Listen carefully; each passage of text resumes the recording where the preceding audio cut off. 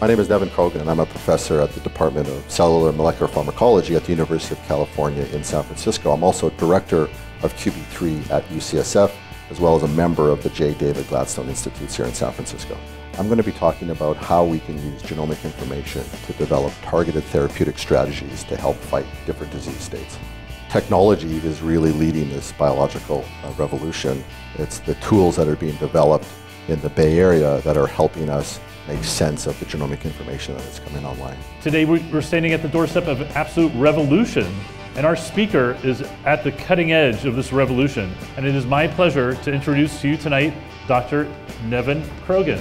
Dr. Krogan, thank you. There are two papers published uh, 13 years ago, one in Science, one in Nature, that were a big deal then, and they're still a big deal today, which gave us our first glimpse of the human genome. And the question is, well, what have we done since we have this genome over the last 13 years. The real goal is to take this genomic information and try to extract useful uh, information from it so that we could live longer, happier, and healthier lives by fighting off various disease states. I just want to go through you know, what is the human genome. Maybe people don't know all this, so here's a person just like all of us, and within this person there are organs, and such as the stomach.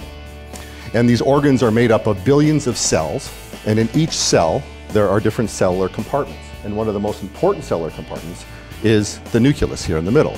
Why? Because it harbors our DNA. What actually happens here in disease states is that we get mutations in certain parts of these machines which make the machines not function. So for example, you have a mutation here in this yellow component of this molecular machine that results in disease X.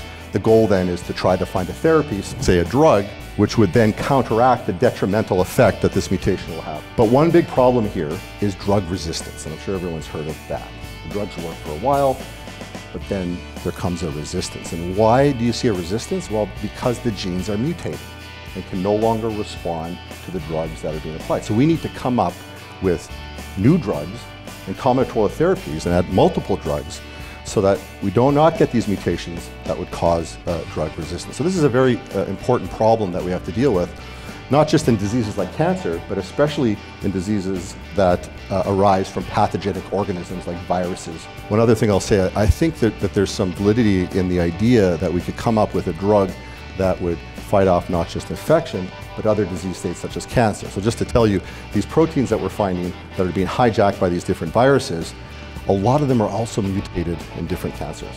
So these are key proteins in us that are being mutated, that are causing disease, and that different pathogens are hijacking and targeting as well. So wouldn't it be great to have a magic bullet that you could give to somebody to say maybe an anti-HIV drug as well as cure prostate cancer?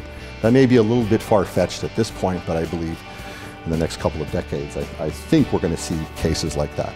He was a great speaker, and I was amazed that they're finding these solutions to these really big problems that, that he's working on through biotechnology. He made it very simple and yet kind of very uh, mind expanding, if you will, in terms of this is how we start, this is the problem, this is the solution, and this is what the mission is.